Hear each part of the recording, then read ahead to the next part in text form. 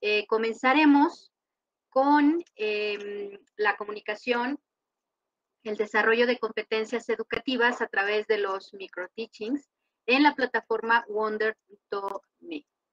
Em, quien está acompañándonos para presentar esta comunicación es Panka Rubesova, profesora en la Universidad de Jadre Kralove impartiendo clases de inglés, didáctica en inglés, español L, doctora por la UNED, Madrid, España, en filologías extranjeras y sus lingüísticas. Eh, como carrera profesional, bueno, ella es profesora en la Universidad Carolina, Universidad Tenango del Valle, México, Universidad Carl Rogers en México. Sus últimas publicaciones, Competences for Employability from English Training Teachers Perspective, de Intel Valenciana 2022, The Potential of Smart Pedagogies eh, for Sustainable Education in Foreign Language Teaching, que es Springer 2021, La postura y esperanza de los mexicanos sobre su idioma nativo, arte, humanidades, la sociedad, GTA Ediciones, Madrid, España 2020. Pues le cedo eh, completamente el micrófono a la doctora Rosova. Adelante, doctora. Bueno, buenas, buenas tardes todos, porque aquí en la República Checa ya tenemos tarde. Y eh, permítanme pues eh, presentar ese trabajo ah, de práctica con su análisis posterior ah, con el título El desarrollo de competencias educativas a través de los micro teachings en la plataforma WonderMe. Me. Ah, bueno, pues eh, sigo con, la, ah, con el diapositivo 2.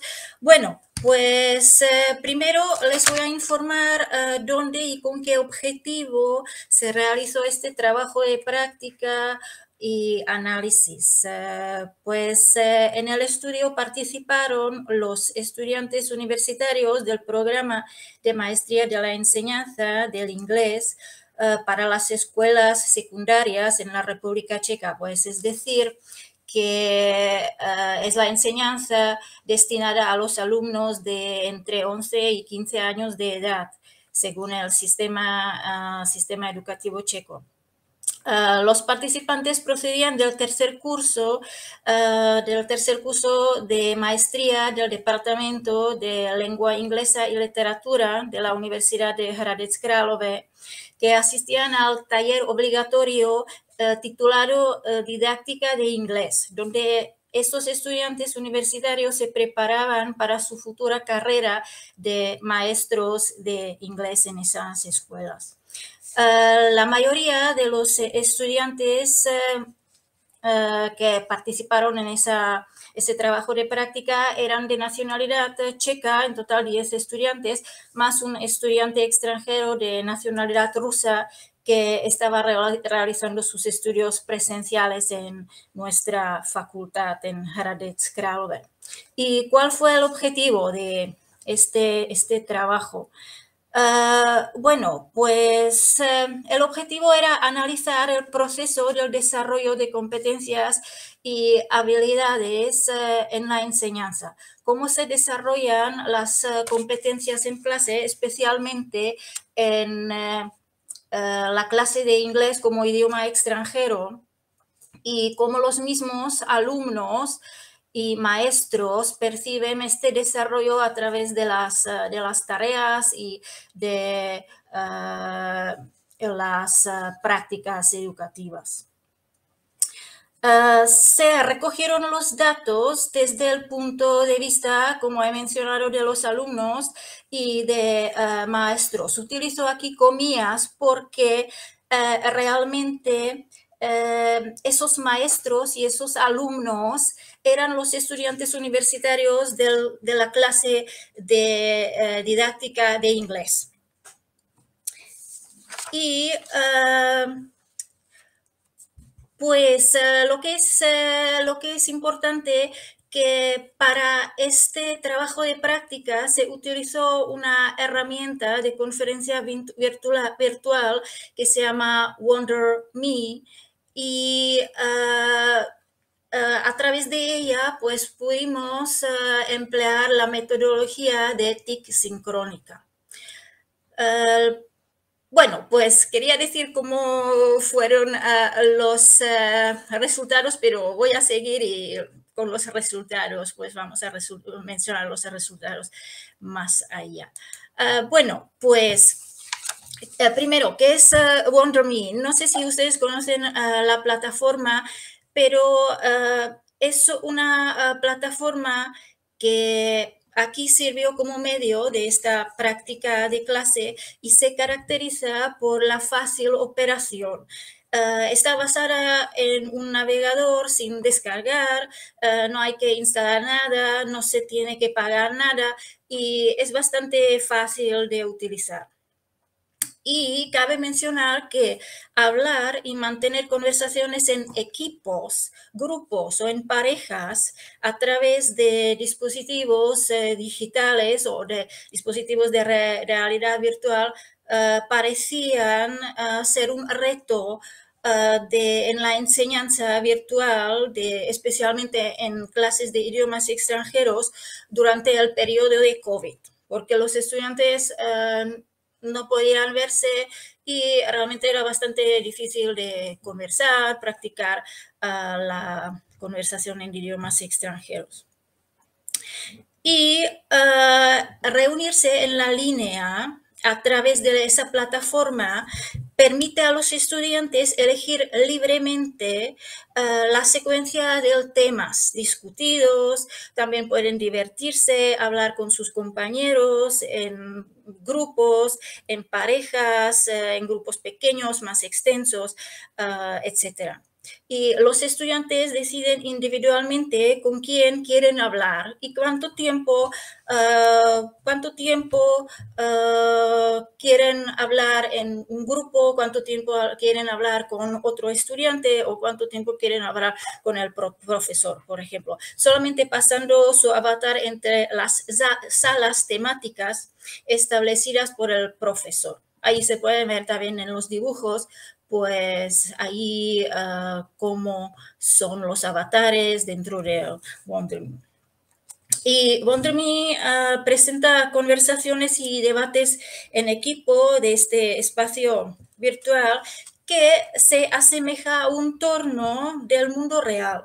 Y los estudiantes así tuvieron en el periodo de las restricciones de COVID una posibilidad única de practicar eh, sus habilidades orales en clases y talleres de idiomas extranjeros. Y el sistema eh, de conferencias, ese Bondomi, permite eh, a los estudiantes compartir también sus ideas críticas y opiniones individuales con sus compañeros de clase virtual para adoptar las ideas generales, expresarse a sí mismos o llevar a cabo proyectos, por ejemplo. Ah, cabe decir que también esa plataforma no sirve solamente para la educación, pero es una plataforma a través de la cual se pueden organizar las fiestas, fiestas ah, virtuales, por ejemplo, celebrar el cumpleaños a través de esa plataforma. Bueno, pues sigo. A ver. Ah, bueno, pues porque WonderMe se escogió esta plataforma para este trabajo de práctica de clase porque el estudio preliminar que yo hice en el año 2021 demostró que a pesar de que la plataforma de conferencias WonderMe era completamente desconocida en un 100% entre todos los estudiantes encuestados, antes de que se aplicó en clase y talleres de la enseñanza de idiomas extranjeros, fue designada como fácil de operar por 67,7% de los estudiantes. Y la utilidad de esta técnica educativa emergente fue probada por los datos obtenidos de los estudiantes encuestados que confirmaron la aplicabilidad de WonderMe para la práctica oral, como esos debates, discusiones y discursos en equipo en un 77,4%. Lo que mm, es más interesante que los datos que se recopilaron a través de esas eh, encuestas de ese estudio preliminar del año 2021 demostró que 58% de los estudiantes proclamaron experimentar más oportunidades, más tiempo y más espacio para poder desarrollar la práctica oral en idiomas extranjeros a través de esa plataforma virtual en comparación con el aprendizaje presencial. Y sigo con otra otra imagen. Ah, ahora, pues me voy a acercar al propio trabajo, porque hablé sobre el estudio preliminar y por qué escogí esa plataforma para este trabajo. Y bueno, pues me acerqué al, propio trabajo de práctica de clase en la que se analizaron ah, la adopción y aportación de competencias y habilidades durante la enseñanza de idioma inglés como idioma extranjero. ¿Y por qué? ¿Por qué eh, hice esa práctica? ¿Por qué analicé las competencias? Es un tema ah, que el, tema del desarrollo de competencias y habilidades a través de la enseñanza es, es, un tema muy discutido últimamente en el campo europeo, mundial y nacional. Y la Organización para la Cooperación y el Desarrollo Económicos han lanzado un proyecto que se llama The Future of Education and Skills 2030.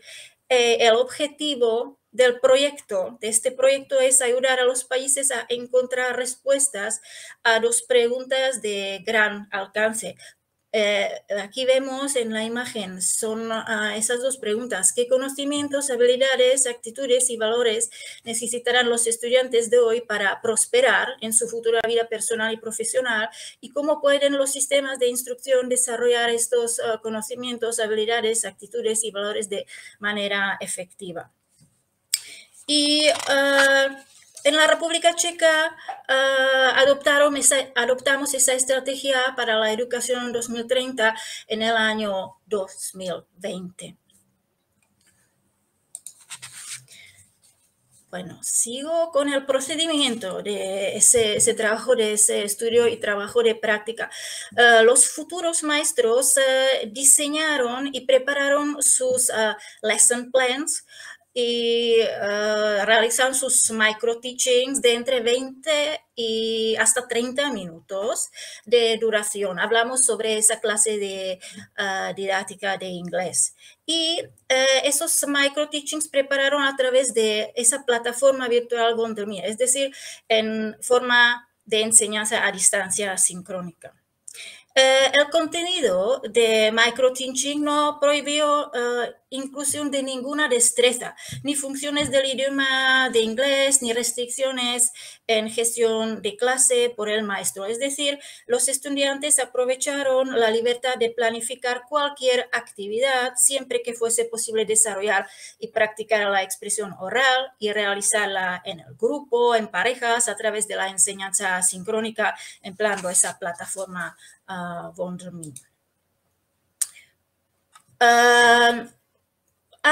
al, concluir estos micro teachings de los estudiantes de la clase de didáctica, los uh, estudiantes completaron uno o dos cuestionarios para evaluar cada micro teaching dependiendo de su papel desempeñado en la clase, especificando qué tipo de competencias y habilidades A adaptaron y eso uh, fue cuestionario denominado A como learning. En caso de que los estudiantes hayan asumido el papel del alumno, entre comillas, porque eran uh, estudiantes universitarios, pero tenían que asumir el papel de alumno en la clase de didáctica. Y B, Uh, transmitieron a sus alumnos. E, ese fue cuestionario B, denominado uh, Teaching, y en caso de que los futuros maestros hayan asumido el papel de maestros eh, en la clase y hayan realizado sus micro teachings. El proyecto recopiló 31 cuestionarios completados, de los cuales 25 eh, fueron del tipo A, de Learning, y 6 del tipo B, Teaching. Uh, todos los respondientes marcaron uh, las competencias y habilidades de la lista de 25 ejemplos proporcionados en ambos cuestionarios y en segundo lugar detallaron tipos de actividades y juegos educativos que contribuyeron en el desarrollo de las competencias y habilidades ya marcadas. Aquí uh, hay una lista de las 25 competencias, pero creo que no, no la ven, pues rápidamente voy a, mencionar algunas de esas, pues lo que podemos ver, pues son competencias como resolución de problemas complejos, pensamiento crítico, adaptabilidad, inteligencia emocional, creatividad, gestión de personas, juicio y toma de decisiones, coordinación con otras personas, capacidad de planificación, asumir la responsabilidad, resolución del conflicto, respecto a diferentes opiniones, trabajo en equipo, observación, independencia, inspiración, alfabetización digital avanzada, habilidades retóricas, actuación, empatía, pensamiento anticipatorio, habilidad de estructurar y ordenar, liderazgo, comunicación no verbal y autorreflexión. Y ahora en las tablas siguientes eh, eh, que se presentan en, los eh, en las imágenes, en diapositivos eh, siguientes, proporcionamos el encabezamiento de esos dos cuestionarios. Vienen en inglés, pero simplemente aquí tenían que marcar las competencias, what skills competencies mentioned below did you develop when learning through WonderMe pues tenían que, ah, los ah, alumnos tenían que marcar las competencias que ellos pensaban que desarrollaron, ah, desarrollaron en, esa, a través de esa actividad. Y la, el, el, cuestionario B era para los maestros, entre comillas, y era What skills, competencies mentioned below did you develop when teaching through WonderMe? Bueno, pues sigo. Ah, aquí ya se ven los resultados. Pues voy a decir que viene el análisis del trabajo de práctica a partir del total de la recopilación de A y B, ah, cuestionados por los alumnos y maestros, donde los estudiantes universitarios, es decir, futuros maestros de inglés, desempeñaron estos dos papeles. Eh, se detectó diferente percepción de absorción de las competencias y habilidades desarrolladas entre los alumnos, por un lado, y transmitidas por los maestros en el taller por otro lado, cuyos resultados se muestran en esa, en esa tabla, pero yo seguiré recuperando los eh, resultados más destacados en las imágenes siguientes. Bueno, pues aquí vemos, eh, según los datos recopilados de los apartados de la tabla ah, del aprendizaje, de learning, pues del cuestionario A, descubrimos que la mayoría, el 84% de los estudiantes que actuaron como alumnos en el taller, ah, adoptó la competencia de coordinación con otras personas, seguida por la creatividad, con el 77%, habilidades retóricas con el 60% y juicio y toma eh, de decisiones con el 52% y el trabajo en equipo con el 48%.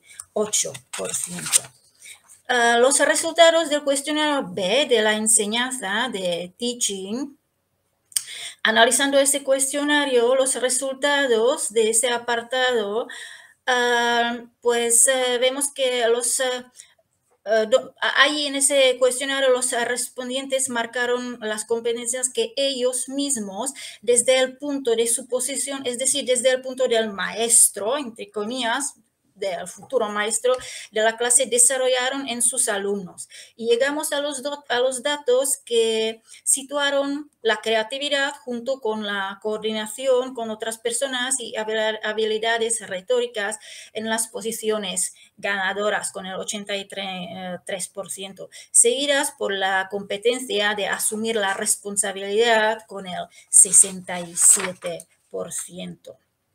Después, eh, a continuación, se analizaron los datos de dos actividades, dos actividades eh, eh, educativas, dos tareas educativas que se denominaron actividad A, actividad B y se emplearon en el taller donde esos estudiantes universitarios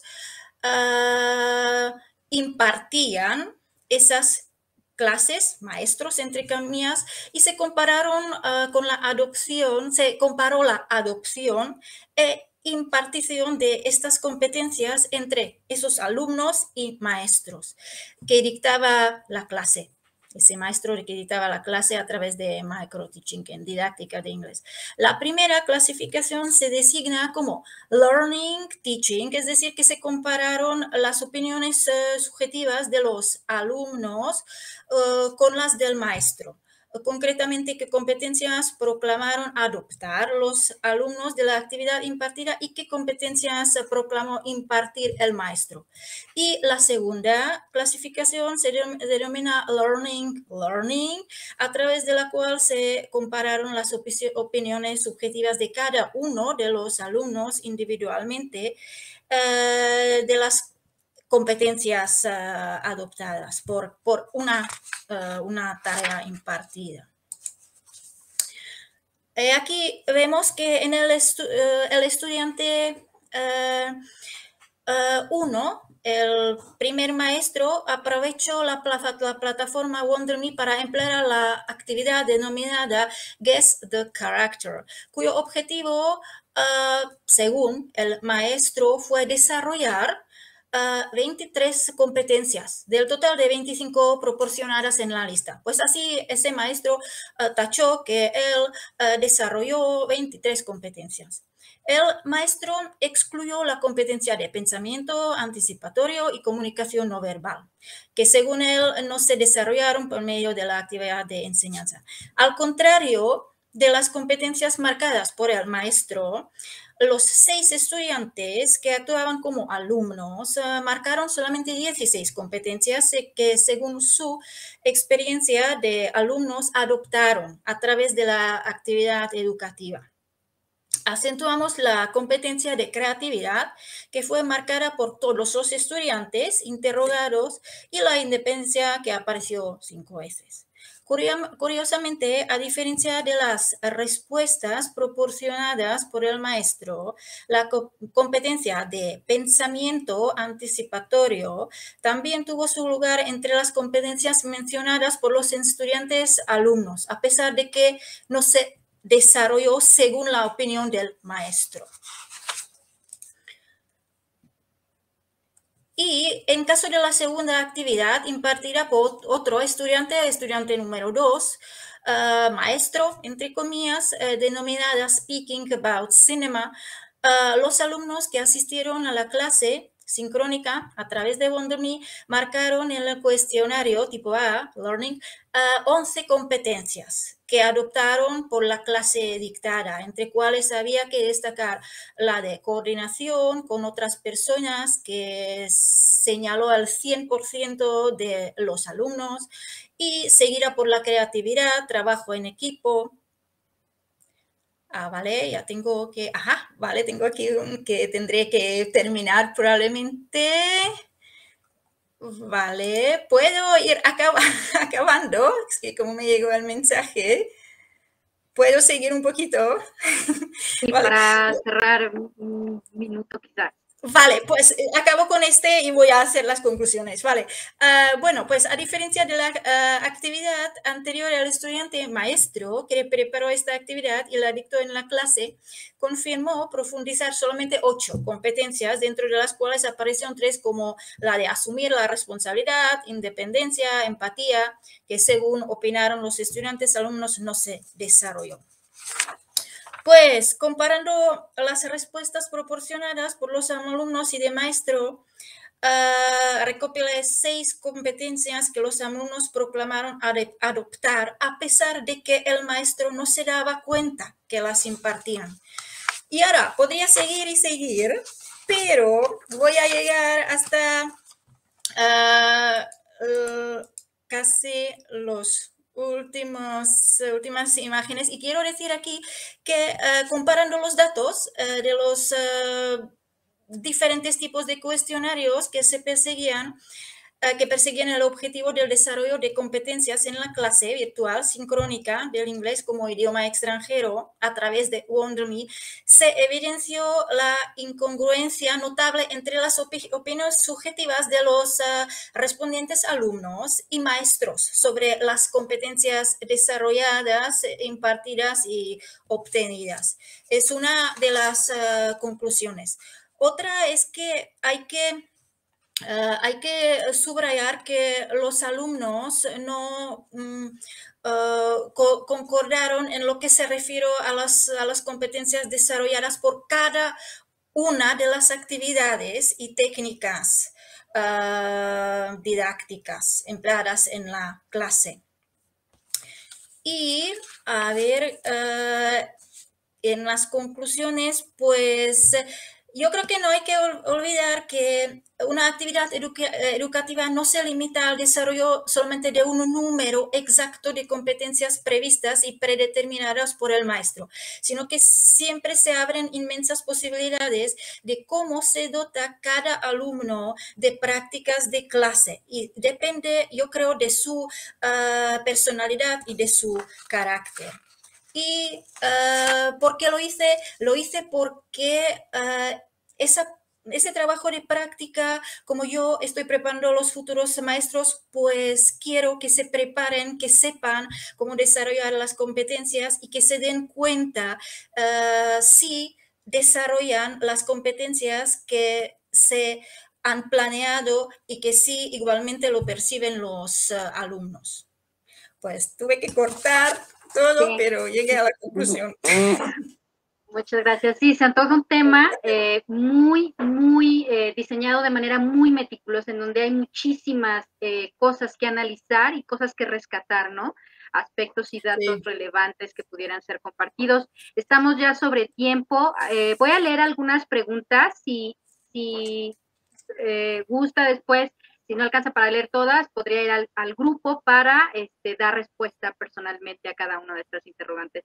Em, Natalia pregunta, ¿consideran que hay competencias genéricas para enseñar y específicas para enseñar inglés? ¿Qué implica coordinar con otras personas? Eh, la interpreto como co-docencia, ¿es así?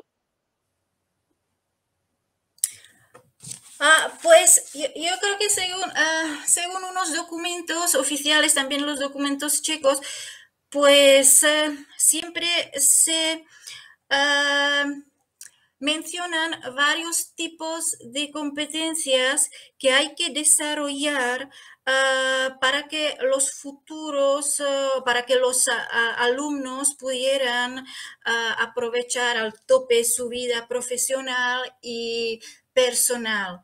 Ah, normalmente se habla sobre las competencias sociales, las competencias de lectura, las competencias uh, de retóricas, etc.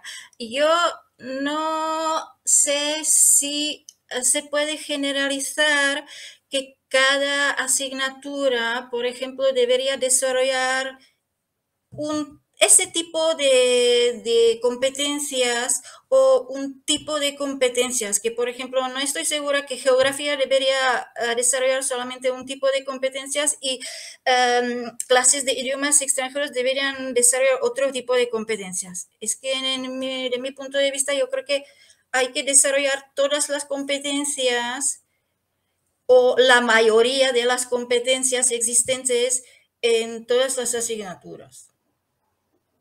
Ok. Eh, bueno, pues estamos ya sobre el límite. La verdad es que se quedaron muchas preguntas en el, en el grupo que posteriormente podrán ser eh, respondidas. Em, le agradezco muchísimo la comunicación, muy interesante. Y eh, vamos entonces a continuar con, con la siguiente comunicación. Muchísimas doctora. Gracias, gracias.